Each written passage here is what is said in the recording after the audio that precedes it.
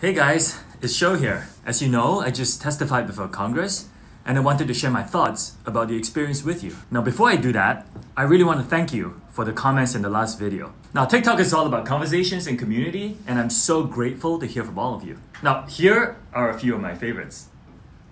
Now, that is what it's all about. A lot was said at the hearing, but I hope you heard the message, the important message, that it is our responsibility to protect more than 150 million Americans who love and use our platform.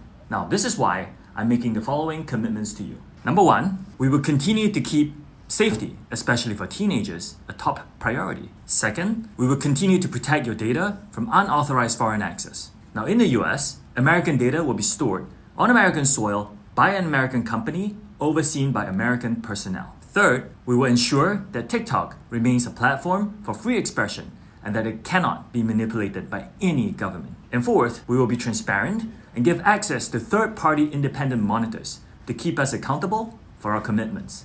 Now, we know that trust is built with every decision we make. We're proud of the groundbreaking work we are doing to be the most trusted platform in the world. Thank you for listening.